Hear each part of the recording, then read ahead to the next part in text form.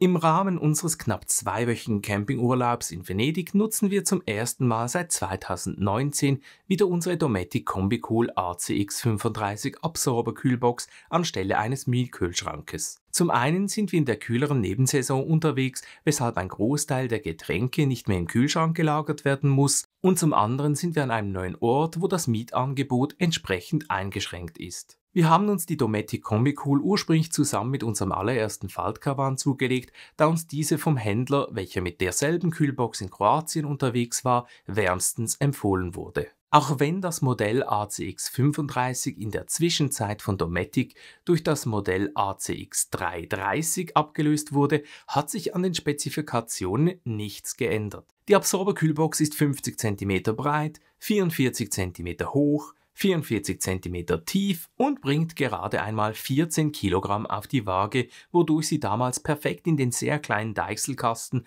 unseres Camplet Classic Faltkarawans passte. In die Kühlbox hinein passen insgesamt 31 Liter Inhalt, wobei der entsprechende Kühlraum 41 cm breit, 34 cm hoch und 22 cm tief ist. Im Lieferumfang ist übrigens zudem noch eine kleine Eiswürfelschale enthalten. Der eigentliche Clou an der Dometic Combi Cool Absorber Kühlbox ist allerdings der absolut geräuschlose Betrieb und das sowohl mit 12 Volt Gleichstrom im Fahrzeug, 230 Volt Wechselstrom auf dem Campingplatz oder direkt mit Gas für die autarke Nutzung an ganz entlegenen Orten. Wir haben uns damals übrigens für die 30 Millibar Version entschieden, damit wir diese notfalls mit dem bestehenden Gassystem unserer Faltkrawanküche hätten betreiben können. Die nächstgrößere Variante in Form der Dometic Combi Cool ACX40G bzw. neu ACX340G würde übrigens zusätzlich noch über eine vierte Option, nämlich den Betrieb mit handelsüblichen Gaskartuschen verfügen.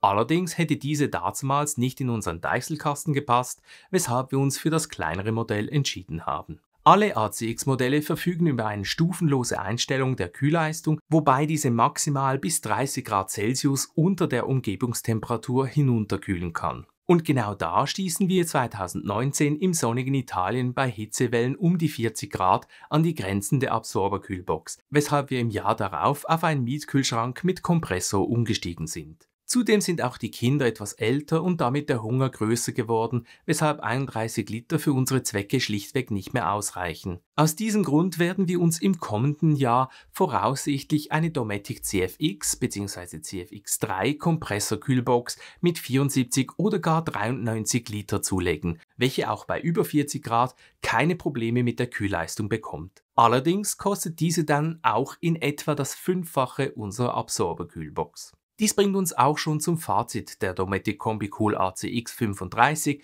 bzw. ACX 330 Absorberkühlbox. Auf der positiven Seite stehen der absolut geräuschlose Betrieb, die maximale Freiheit in Sachen Energieversorgung mit Gleichstrom, Wechselstrom und Gas, das stabile und praktisch unzerstörbare Gehäuse der Kühlbox sowie der mit 200 bis 300 Euro sehr attraktive Preis der ACX-Modelle.